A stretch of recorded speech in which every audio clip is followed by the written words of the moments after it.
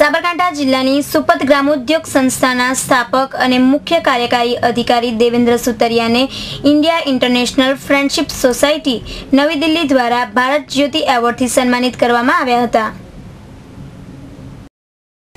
India international friendship society Navi Delhi, જે વિવિધ ક્ષેત્રોમાં વિશિષ્ટ યોગદાન આપનાર દેશ વિદેશની વ્યક્તિઓ તથા સંસ્થાઓને એવોર્ડથી સન્માનિત કરતી પ્રતિષ્ઠિત સંસ્થા છે.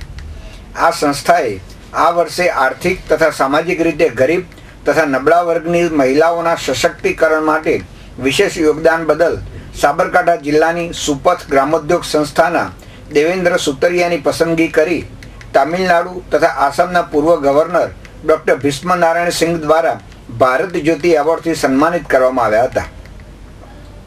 સુપથ ગ્રામોદ્યોગ સંસ્થા છેલ્લા અઢાર વર્ષથી સાબરકાંઠા જિલ્લાના અંતરિયાળ ગામોમાં ગરીબ મહિલાઓને આર્થિક રીતે સક્ષમ બનાવવા અનેકવિધ પ્રયાસો કરી રહી છે.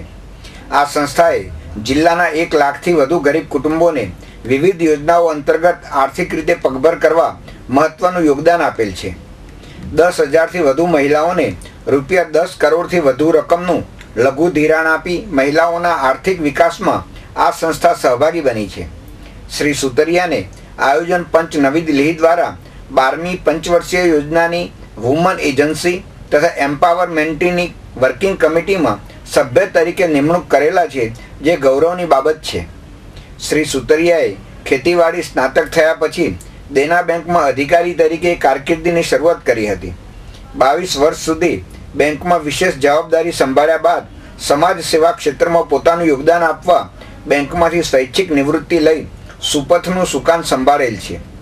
તેમણે સંનિષ્ઠ પ્રયાસોથી મહિલાઓને આર્થિક રીતે પગભર કરી સ્વમાનભેર જીવન જીવવા નવીન દિશા ચિંધેલ છે.